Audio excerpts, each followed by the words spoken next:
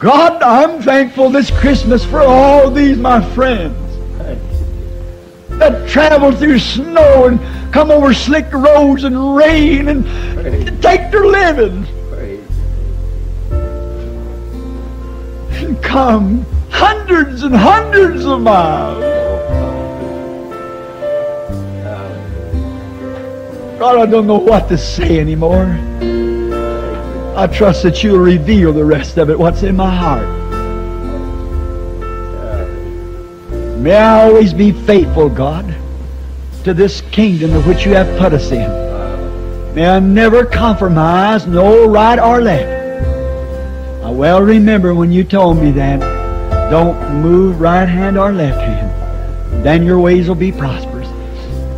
Then thou shalt have good success. Maybe not in the eyes of the world. And I care not what the world thinks.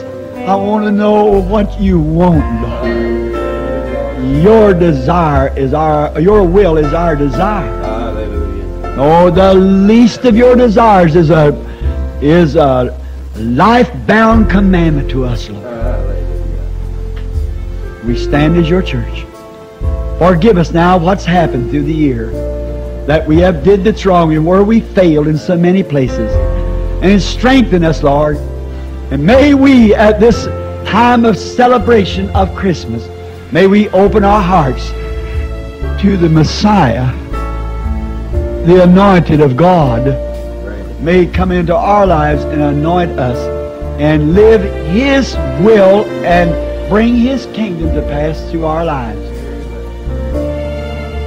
Keep us well, healthy.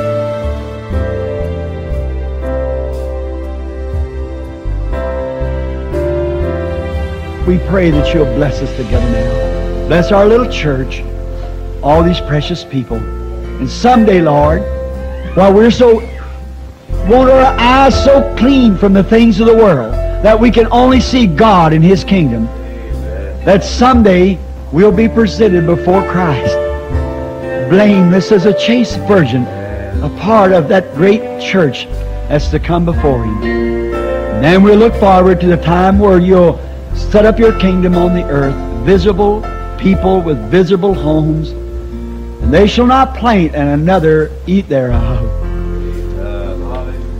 but they shall live